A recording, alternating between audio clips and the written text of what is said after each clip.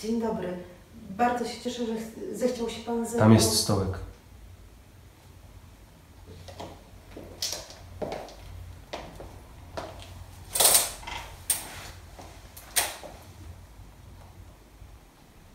Bo widzi pan, strasznie się cieszę, że pan mnie y, zawołał, poprosił. Ja już kilkakrotnie prosiłam różnych ludzi, strażników, żeby ktoś zaprowadził mnie do jakiegoś oficera. No, w każdym razie do kogoś. Nazwisko i imię.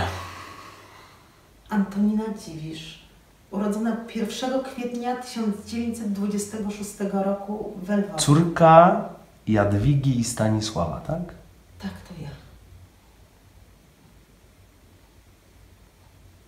Ja przede wszystkim chciałabym się dowiedzieć, czy, czy mój mąż został zawiadomiony. Bo wie pan, ja, ja jestem zupełnie niewinna. Na pewno mnie z kimś pomyliliście i po prostu. Wie pan, jak to jest? No przecież ja sama wiem, że, że potem to nie wiadomo, kogo szukać, bo to nie wiadomo, jakie to nazwisko. Wie pan, no kto to tam? No, no.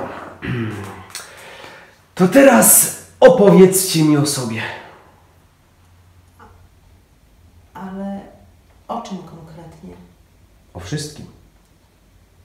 Chyba nie chce pan, żebym panu opowiadała, jak się całowałam z chłopakami w czwartej klasie. Dlaczego nie? Proszę bardzo. No, mówcie. Czym? No, o tym całowaniu. Nie. Wie pan, no może pan naprawdę mi powie, o co w tym wszystkim chodzi. Ja naprawdę jestem niewinna. Naprawdę chciałabym wam pomóc, tylko siedzę tutaj już tak długo, no nikt nie chciał ze mną rozmawiać. Nikt nic ode mnie nie chciał, żadnych wyjaśnień. Ja... Naprawdę, szkoda czasu. Czasu jest dosyć, nie martwcie się. Ale naprawdę mi pan nie wierzy, że jestem niewinna? Przecież.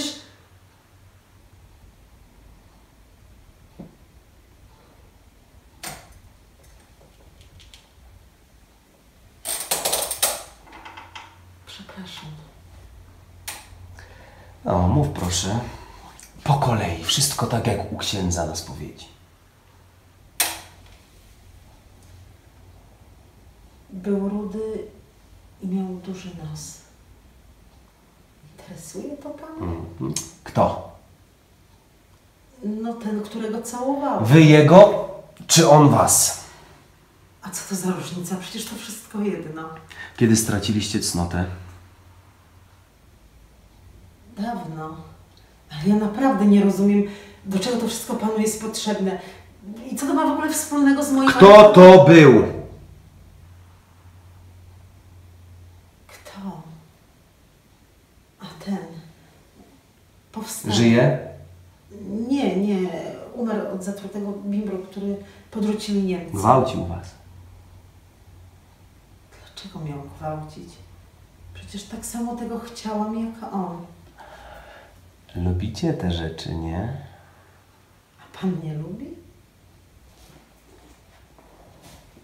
Słuchaj, byłaś tu nas w łaźni? Możemy ci zrobić taką kąpiel, że popamiętasz do końca życia! Ja naprawdę nie rozumiem, dlaczego ja mam mówić. Przecież to są moje intymne sprawy. Żadne twoje i żadne intymne! Na każde pytanie mam dostać jasną, zgodną z prawdą odpowiedź! Jazda! Nazwiska wszystkich mężczyzn, z którymi spałaś! Ale ja nie pamiętam nazwisk. No przecież nikt podczas powstania ani po wojnie nie mówił sobie nazwisk. Jak się nazywał ten powstaniec? Nie wiem, nie pamiętam. Miał pseudonim Dzik, no po, po prostu ja nic więcej nie Dalej. pamiętam. No, no potem przenieśli nas do Pruszkowa. Tam, tam y, mieszkałam w takim, na strychu pewnego domu. No, no i tam mieszkał taki chłopak, który, który ja naprawdę nie pamiętam jak miał na nazwisko. Marian, Łysiak, Ły... nie wiem, nie pamiętam nazwiska. Kiedyś weszłam na strych. On tam hodował gołębie i no i, no i akurat wyciągał jajka z gniazd, no i weszłam i No dalej, dalej! no nie wie pan co było dalej. Dalej. Ja- Jak się wyniosłaś z tego Pruszkowa? No to potem w Łodzi był taki to znaczy prawdziwe nazwisko y, Górka, ale wszyscy znali Następny. go jako... Następny to był mój mąż. Konstanty Dziwisz. Zdradzałaś go? Nie. Co to pana obchodzi? Pytam. Ale ja naprawdę mogę panu wszystko powiedzieć, tylko muszę wiedzieć do czego. Witolda Lewańskiego znasz?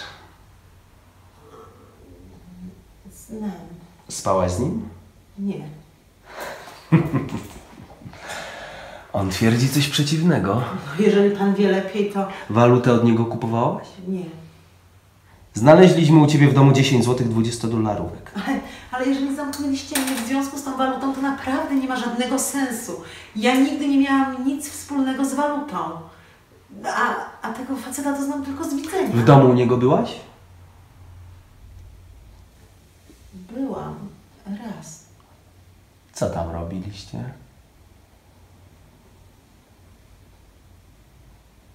Piliśmy kawę. Zaprosił mnie na kawę. No. A, a jak już wypiliście ten likier miętowy i zjedliście pączki od Pomianowskiego, to co było dalej? Kto kogo zaczął rozbierać? Ty jego czy on ciebie? Ale kto panu powiedział o tych pączkach? Podpisz to. Jeżeli jeszcze raz cię przyłapię na jakimś kłamstwie, to cię strzelę w pysk w ten sposób, że popamiętasz do końca życia. Niczego nie będę podpisywała.